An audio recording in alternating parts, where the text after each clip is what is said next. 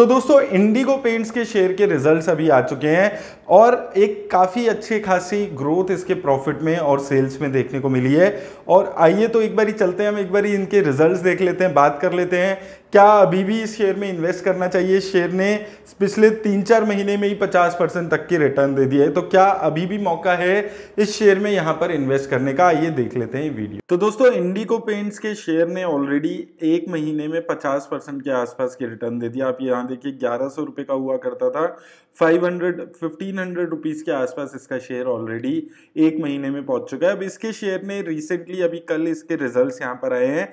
तो अगर हम रिजल्ट्स की बात करते हैं सेल्स की सबसे पहले बात करें तो सेल्स में इंक्रीमेंट देखने को मिला है। अच्छा खासा इंक्रीमेंट है 281 करोड़ की सेल थी दिसंबर 2022 में, जो बढ़कर 325 करोड़ के आसपास हो गई है।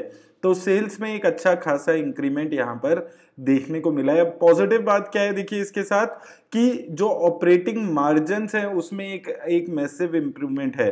14 परसेंट के आसपास के ऑपरेटिंग मार्जिन थे, जो बढ़कर 22 परसेंट के आसपास हो चुके हैं। तो काफ़ी अच्छी ग्रोथ यहाँ पर इसके प्रॉफिट्स में भी हो रही है। प्रॉफिट्स अगर हम देखते हैं 49 करोड़ के आसपास पहुँच गए हैं।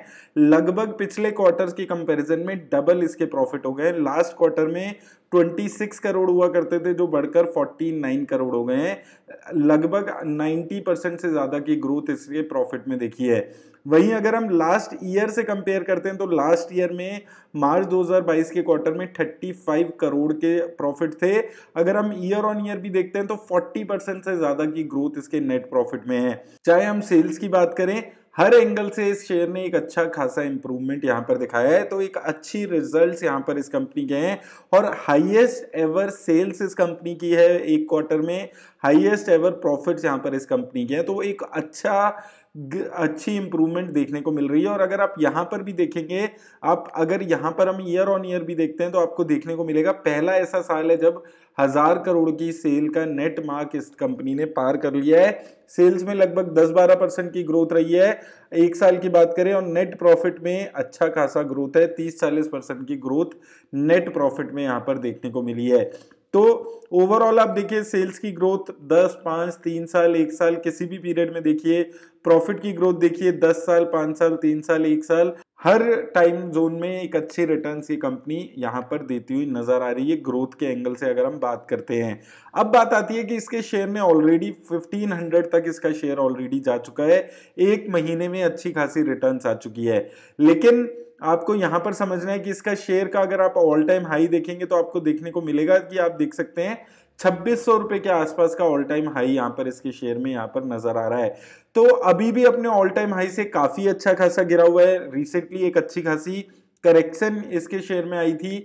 अगर हम प्राइस टू अर्निंग रेशियो भी देखते हैं तो आप देख सकते हैं काफ़ी नीचे लेवल पे इसके शेयर की आई हुई है। 100 लगभग 100 के आसपास की medium price to earning ratio इसकी चला करती थी, जो अभी गिरकर लगभग 50 के आसपास 54 के आसपास यहाँ पर चल रही है। तो अभी भी वैल्यूएशन इसकी काफ़ी डिस्काउंटेड लेवल पे है। अगर आप इसके पीयर से कंपेयर करते हैं तो अगर हम एशियन पेंट्स और बर्जर पेंट्स जैसी कंपनियों से इसके प्राइस टू अर्निंग रेशो को भी अभी कंपेयर करते हैं। तो अभी भी अच्छे खासे डिस्काउंट पे ये शेयर यहाँ पर अवेलेबल है।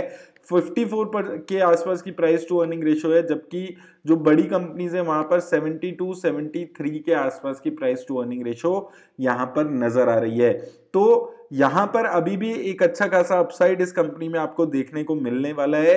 ऐसा मुझे यहाँ पर लगता है और लॉन्ग टर्म में एक मल्टी बैगर शेयर भी ये जाकर आने वाले टाइम में बन सकता है। अब ये कंपनी धीरे धीरे केमिकल बिज़नेस में भी उतर रही है। रिसेंटली न्यूज़ आई थी कि इसने एक केमिकल कंपनी को भी परचेज किया तो अलग अलग सेगमेंट्स में भी ये कंपनी अब ग्रोथ के लिए यहाँ पर उतरती हुई नज़र आ रही है।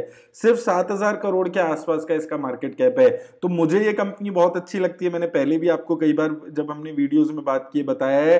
वन थाउज़ेंड में हमने लगातार बात भी की थी इस कंपनी को अपने पोर्टफोलियो में ऐड करने पे। अगर आपने उस टाइम पे ऐड किया होगा ऑलरेडी फिफ्टी परसेंट के रिटर्न ये शेयर आपको एक डेढ़ महीने में दे चुका है और मुझे लगता है कि ये आने वाले टाइम में एक मल्टी बैगर शेयर बनने की पोटेंशियल रखता है। लेकिन याद रखिए, ये मेरे पर्सनल व्यूज़ हैं। बायस्ड हो सकते हैं क्योंकि मैं खुद भी इस कंपनी में एक इन्वेस्टर हूँ मैं इस कंपनी में इन्वेस्ट करके चल रहा हूँ तो मेरे व्यूज़ जो हैं वो इस कंपनी में बायस्ड भी हो सकते हैं। तो अपने इन्वेस्ट अपने फाइनेंशियल एडवाइज़र से बात करके ही किसी भी कंपनी में इन्वेस्ट करें। और अभी तक अगर आपने मुझे इंस्टाग्राम पे फॉलो नहीं किया तो लिंक डिस्क्रिप्शन में जाकर फॉलो कर सकते हैं। अभी तक अगर आपने अपना डीमेट अकाउंट नहीं खुलवाया तो उसका भी लिंक मिल जाएगा, जाकर डीमेट अकाउंट खुलवा सकते हैं। मेरी तरफ़ से बस इतना ही दोस्तों, धन्यवाद।